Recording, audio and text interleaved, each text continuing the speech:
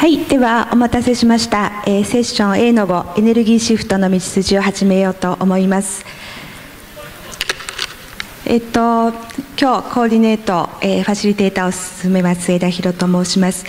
えっとこのセッションは、えーエネルギーシフト、まあ、自然エネルギーに向けてどういうふうに私たちの社会や暮らしや経済を変えていったらいいのかという話をみんなで考えていきたいと思っています。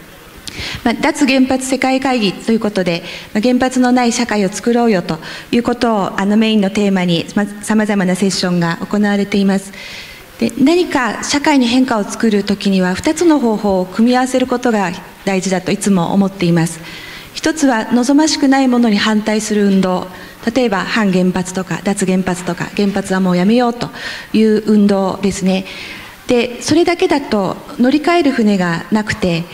これはあんまり良くないの分かったけどじゃあどうしたらいいの？というところで残念ながら社会の多くが止まってしまうという現実があります。なので望ましくないものに反対すると同時に望ましいものを大きくアピールしてそちらに進めていく。反対のための運動とそれからまあ支持する。賛成のための運動と、まあ、北風と太陽のように組み合わせていく必要があると思っています。ということでこのセッションでは原発に頼らなくたってもう私たちやっていけるそういった社会をどうやって作ったらいいのか。そういった話をですねパネリストの方々のいろいろな経験お考えを聞きながら進めていきたいと思っています。で最初にあのもう一方、えー、パネリストが後で駆けつけられる予定ですが4人のパネリストの方に15分ずつお話をしていただいてその後そこで出たポイントをもとに議論を進めていこうと思います。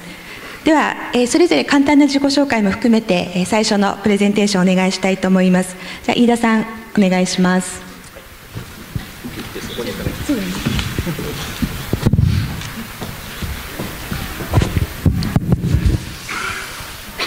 えー、環境年政策研究所の飯田と申します。えっ、ー、と昨日一番最初にお話ししたあ、